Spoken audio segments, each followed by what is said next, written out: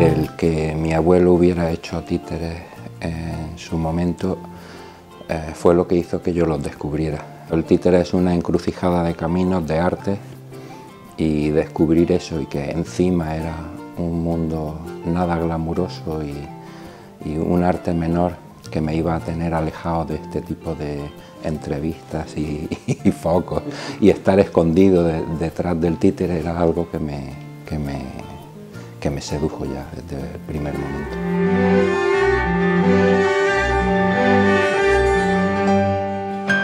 Para mí el reto principal es conseguir que cada espectáculo tenga el sello de la compañía y sin embargo sean diferentes. A mí me gusta como creador ponerme una máscara cada vez que hago un espectáculo. Se mantiene la relación entre el títere y la música, se mantienen otros ingredientes como el hecho de que casi siempre hay una historia dentro de otra, pero todo lo demás, estéticamente, técnicamente, en proporciones, todo es diferente.